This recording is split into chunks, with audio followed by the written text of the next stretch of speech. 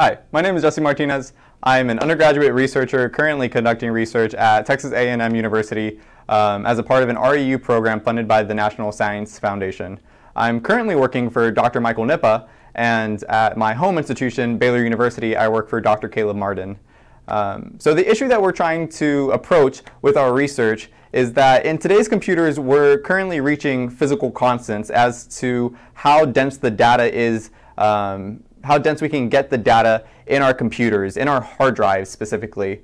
Um, so to explain a little bit about where the current technology is at with our hard drives, um, I brought an example of a hard drive. And so in a traditional hard drive, uh, you have a platter, which is where the data is actually stored. Um, and this platter is typically made of uh, mostly something like glass or aluminum, something that's not magnetic. And then throughout the platter is distributed um, a magnetic material. So that's something like iron and uh, um, cobalt. Um, and in each hard drive is also a needle, uh, which is located right here on this one.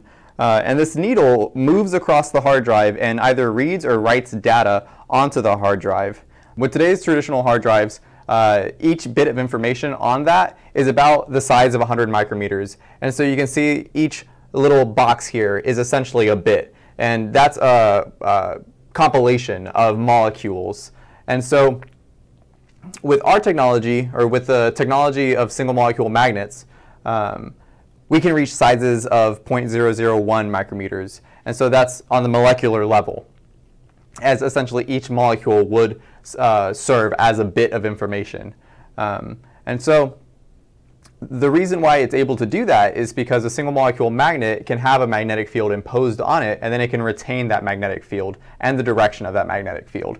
And so what that essentially means is just that it can retain the information that you put on it um, at a molecular level rather than at uh, multiple molecules per bit. And so the difference in size between these two technologies leads to a difference in data density. And so with today's technology um, involving these domains, a common flash drive can hold up to about 256 gigabytes, while a flash drive of this similar size uh, using single molecule magnets would be able to hold up to 25,000 gigabytes. And that leads to an immense uh, decrease in energy costs. And so utilizing the technology of single molecule magnets has a potential to uh, decrease the amount of energy being used by data centers. And for example, those hosted by Amazon, Facebook, and Google which some estimates report are responsible for roughly about 2% of the greenhouse emissions. And so by decreasing the size of these data centers, we decrease the cost of energy and we decrease the greenhouse emissions annually. With the modern day technology, we use, uh, as mentioned prior, magnetic materials such as iron and cobalt. In order to get those materials, we have to mine for them. And this mining uh, goes through a process called beneficiation. And what that essentially means is that you're dissolving the material that surrounds the metal with an acid, usually sulfuric or hydrochloric. And that creates tailings, which are essentially just streams of waste. And this waste is typically dumped into local uh, water sources. And so with uh, our single mo molecule magnets, we would be using lanthanides rather than trans transition metals. And so lanthanides are located on this part of the periodic table, while transition metals are typically up here. And so uh, the reason why this would be a greener option is because instead of going through beneficiation, we could use something called ion leaching. And so ion leaching is essentially just taking these clay deposits that hold lanthanides and using an ionic solution. And so an ionic solution would be something, um, a solvent in, that has table salt, which is sodium chloride, or uh, lithium chloride, which is a common medicine.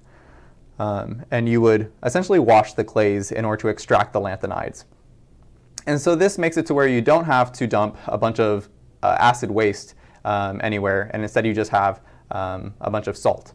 Lanthanides are considered rare earth metals, while transition metals are not. Um, but this is actually a misnomer. It's not due to the rarity of the lanthanide. It's actually due based off of the fact that lanthanides can't be found as, in their metallic state in nature. Rather, they're found as oxides. Um, and so a lanthanide, for example, is less rare than something like gold and silver, which are commonly used in computer parts. Um, it can actually be found in over 200 rock formations in nature. The recyclability of lanthanides has also been increasing. Dr. Schelter, a former Aggie student and a current research professor at the University of Pennsylvania, recently won a Green Award chemistry based off of his publication in which he separated out early and late lanthanides using kinetic controls. And so this allowed him to reintroduce uh, what would originally have been waste back into the production cycle uh, for technologies that require lanthanides. And so this advancement has the potential to decrease CO2 emissions, decrease the amount of energy needed, and also decrease the amount of mining needed in order to get lanthanides.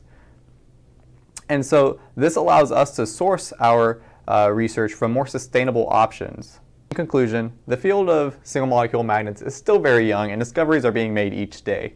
Um, but with the help of the National Science Foundation and the institutions at which this research can take place at, such as Texas A&M University, uh, we can all inch forward towards the technology of the future. Thank you very much for listening.